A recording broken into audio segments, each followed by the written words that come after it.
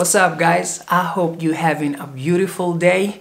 This is a different video. I just set up the camera and press record and just have a heart-to-heart kind of a conversation and somehow recap what happened in 2019 and at the same time clarify the future of this channel. 2019 it was a year full of hard times and ups and downs, uh, but mostly downs. But luckily, being optimistic, it kind of helped. Living in Finland alone while all your family and best friends are back home, so you are at that situation where you are always in a constant homesick and moving from my old apartment to this apartment and everything in between including work and school i got my heart broke it was a miserable year yeah it was a miserable year. Being in tough situations like that actually made me pick up a habit which was actually pick up a book. So in the process of that tough time i was going through i came across a book called the happiness project. And that book actually showed me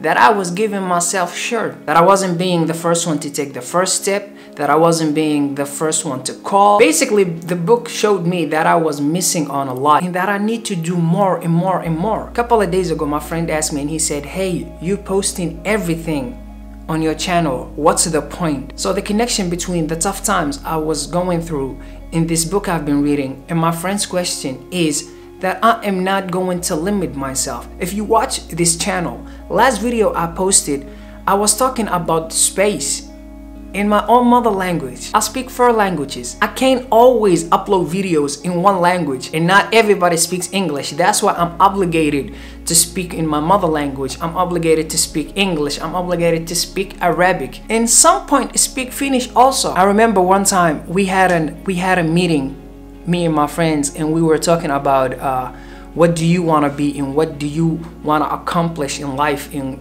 you know that type of a conversations i remember my answer was i just want to be me if i'm gonna accomplish something i want that something to represent me i want that to be me speaking in four languages i want that to be literally me so what do you expect from this channel? Expect everything. You will see me doing an interview. You will see me doing a tech review, an activity with a friend me just having a coffee alone you will see a lot. You might see a traveling video. In 2020 and for the upcoming years my message is one thing and one thing only. Don't limit yourself. Press that creativity muscle in your head. I know there's someday you just want to grab the camera and you'll be like Ugh.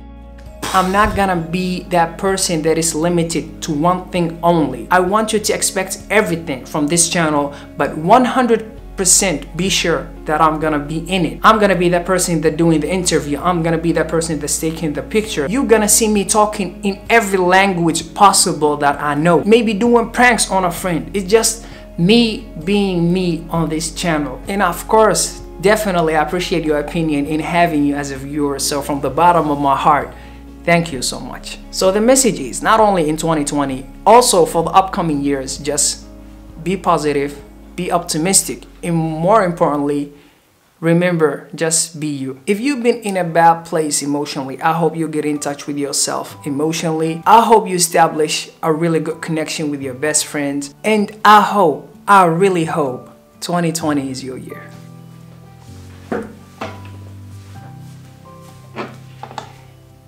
And the cherry on top of the cake is don't break people's heart.